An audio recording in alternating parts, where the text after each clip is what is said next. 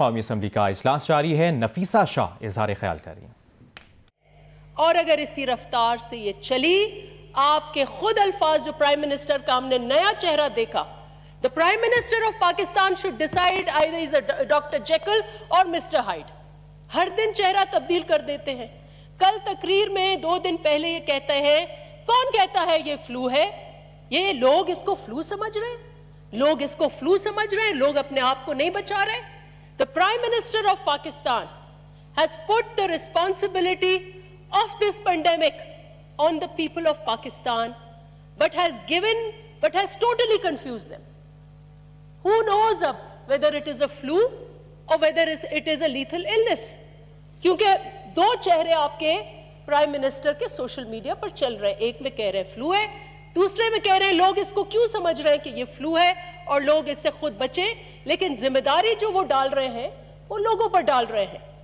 तो unfortunately during and W H O का जो खत है mister speaker I would like to quote that letter that letter has been sent to everybody all the provincial ministers और federal minister को भी। Prime minister ये कहते हैं कि स्मार्ट लॉकडाउन जो है वो गरीबों वाला लॉकडाउन है। और uh, मैंने स्मार्ट लॉकडाउन किया है और अशराफिया वाला लॉकडाउन जो है वो स्ट्रिक्ट लॉकडाउन है। अगर डब्ल्यू का आप डेटा देखें तो उन्होंने आपको कोरोना की प्रोग्रेस के नक्शे दिए हैं।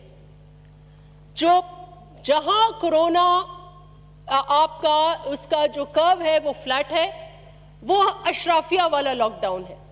और जहाँ पर आपे से बाहर जा रहा है कोरोना, वो आपका स्मार्ट लॉकडाउन है। आप बताएँ कि ये स्मार्ट लॉकडाउन है क्या? कहीं इसकी कोई तशरी नहीं हुई कि स्मार्ट लॉकडाउन जो है, वो क्या है। और इस स्मार्ट लॉकडाउन में आपने हर वो काम किया जिससे मुल्क में इंतशार फैला है। वेरी अनफॉर्चुनेट स्मार्ट लॉकडाउन के अंदर आपने ऑपोजिशन के खिलाफ इंतकामी कार्रवाइयाँ जारी रखी। स्मार्ट लॉकडाउन में आपने एनएफसी का नोटिफिकेशन डाल दिया।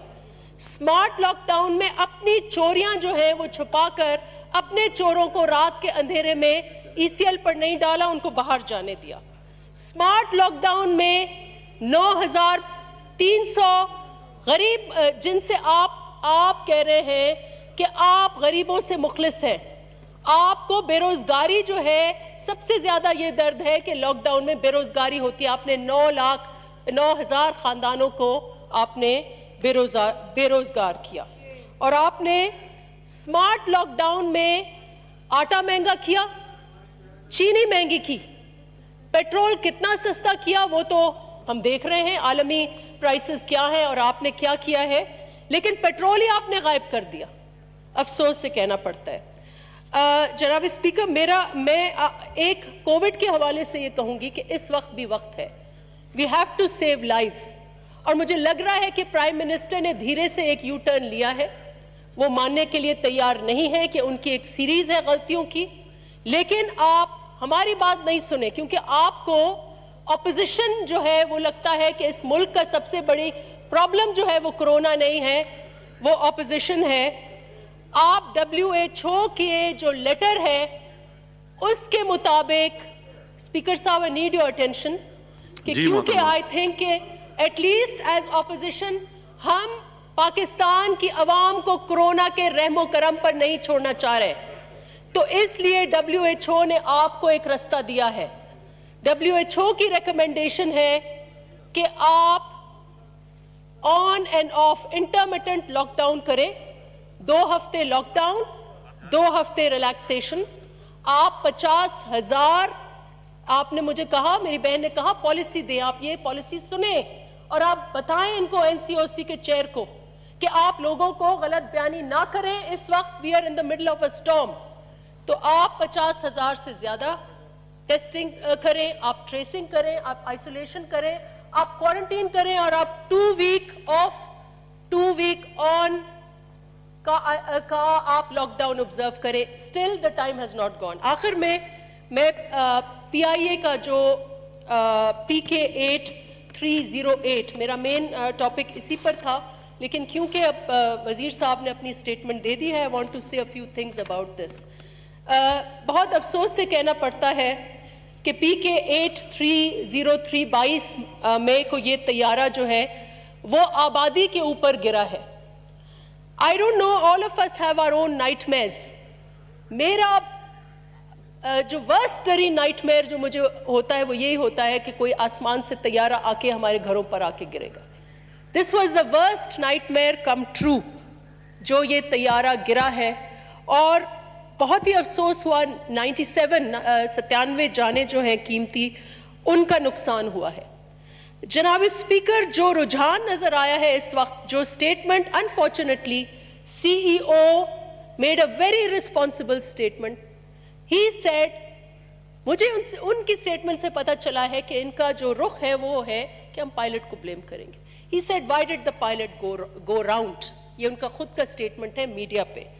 जनाब speaker crash is not simply immediate circumstances that leads to the crash crash के पीछे आपको लेयर्स अपॉन लेयर्स आपको खरीदने होंगे कि वो पायलट जो है जिस पर आप ब्लेम डालना चाह रहे हैं हो सकता है I I believe I believe I am told maybe it is right maybe it is wrong I believe that he made a very steep curve I believe that the air traffic control told him several times that he's speeding uh, very, दो तीन दफ़ा उसको किया, but despite that, the pilot said, no, I'm comfortable.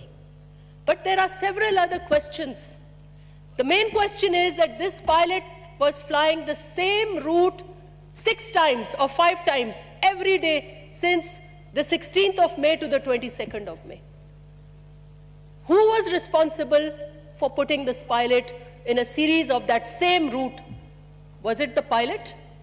Air traffic control monitors कि आपका तैयारा जो है वो लैंड करना है या नहीं करना है they have the eventual powers यही फ़्लाइट अगर अमेरिका और लंदन में जाती तो उसको लैंडिंग की इजाज़त नहीं होती if they were not on the SOPs why did the air traffic control allow him Pakistan PIA के if you look at the history, out of the 54 years 52 serious accidents हुए हैं.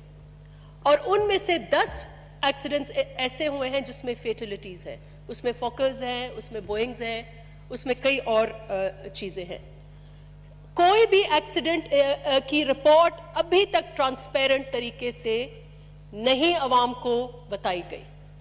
दो एस्पेक्ट्स उसके इन जो इमीडिएट इन्वेस्टिगेशन रिपोर्ट्स हैं, उसमें ये होता है आई द मैकेनिकल फॉल्ट्स और pilot error now for me the pilot error जो है, वो एक इजी वे आउट है। Pilot error serves the interest जो एयरक्राफ्ट है वो भी कहेगा pilot error because they they they want to protect their own aircraft they make उनकी अपनी international competition it serves the people at the helm the people at the helm जो civil aviation जो आपका regulator है, जो आपके flight standards का जिम्मेदार है, जो एयर ट्रैफ़िक कंट्रोल का जिम्मेदार है it serves them if they put it on the pilot because the only witness who will not speak around the incident is the pilot because is dead तो it is convenient कि आप pilot error पर डाल दें, इसमें भी convenience होगी, हो सकता है, हो भी।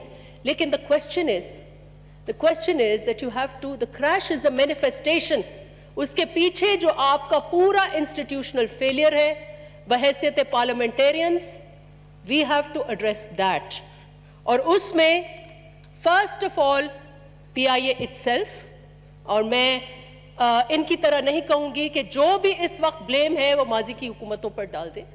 I say look at the past 15 years look at the past 10 20 years और आप पीआईए को देखें कितने सीईओज चेंज हुए हैं। हाल का सीईओ हमें अपने एयरलाइंस पर हमें अपने एयरफोर्स पर का एहतराम है। हम उनको सलाम पेश करते हैं। लेकिन जब वो जिस मंजन मनसब के लिए पाकिस्तान ने उनके लिए टैक्स दिया है उस पर होते हैं उस पर हमें एहतराम है। but if the air force people excelling in war war courses और फाइटर प्लेन्स कमर्शियल एयरलाइन पर आएंगे the question will be are they following all the set procedures for the appointments the present CEO is facing litigation the civil aviation का जो आपका flight standards का in charge है is facing litigation और कितने सालों के आपके पास डीजी नहीं है सिविल एविएशन का कहां है उसकी कौन जिम्मेदार है वज़ीर आज़म साहब ये कहते रहे हैं कि अगर साउथ कोरिया में एक बहरी जहाज़ का एक्सीडेंट होता है तो वज़ीर आज़म जिम्मेदार है। कितनी अच्छी बात है। इस एकरा उसी स्टैंडर्ड से, आपके अपने लफ्ज़ों से जिम्मेदार आप हैं। जनाब स्पीकर इस मौके पर I am recounting there is a Spanish play medieval seventeen century play जिसमें एक गाँव में बादशाह ने कमांडर भेजा। उस कमांडर का कत्ल हुआ। बादशाह ने इन्वेस्टिगेशन के लिए एक मैजिस्ट्रेट भेजा।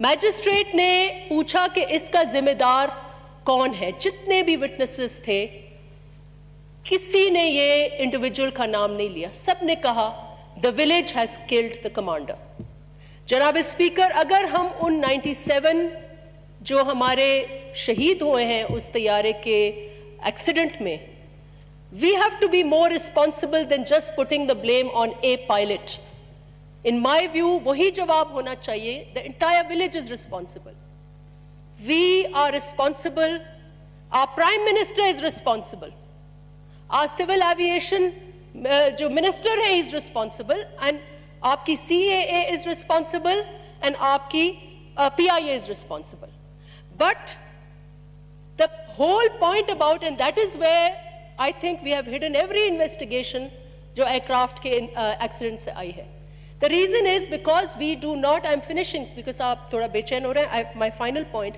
The reason we hide these investigations is because as a society we want to put, play, put blame.